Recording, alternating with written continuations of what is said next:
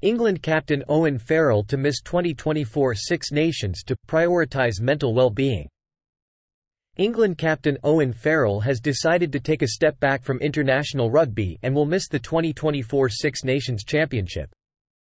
The fly half, who has earned over 100 caps for the Red Rose and has led them in the past two Rugby World Cups, has cited his and his family's mental well-being as the reason for the decision. Done with England's blessing.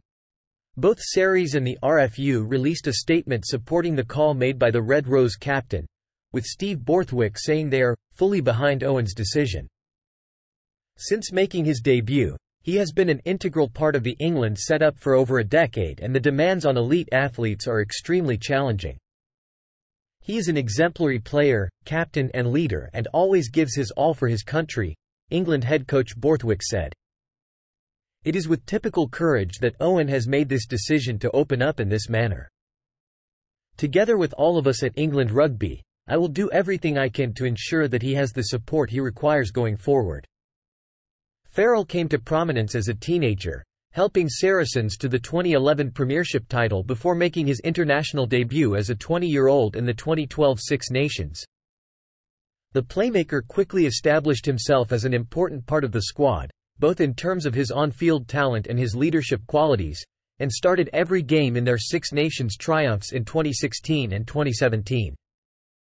Captaincy He took over the captaincy from Dylan Hartley in 2018 and was made permanent skipper ahead of the 2019 World Cup. Once again, Farrell was crucial as they reached the final before they succumbed to South Africa in the showpiece event.